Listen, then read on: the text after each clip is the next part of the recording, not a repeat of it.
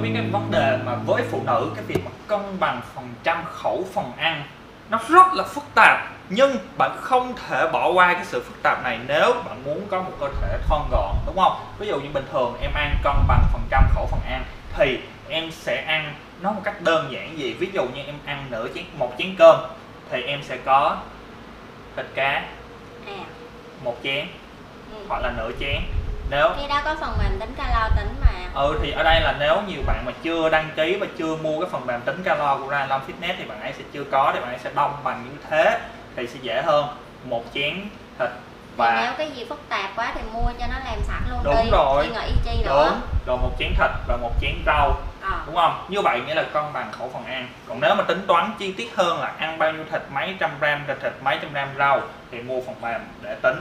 Và cái vấn đề mà ăn cân bằng khẩu phần ăn nó rất là quan trọng bởi vì có rất nhiều bạn mà mập hơn mà hỏi là làm sao để có eo thon như em làm sao để có tay thon nhưng thật sự trong cái khẩu phần ăn nếu mà các bạn không cân bằng mà ví dụ một bữa ăn bạn ăn một lần hai chén cơm mà có một phần tư cái chén đó là thịt cá và chỉ trong cỡ cũng có Nửa nửa chén rau. Nhưng mà vấn đề nữa đó là một phần tư cái chén đó của bạn là thịt cá, nhưng mà nó không phải là cá mà nó là thịt heo.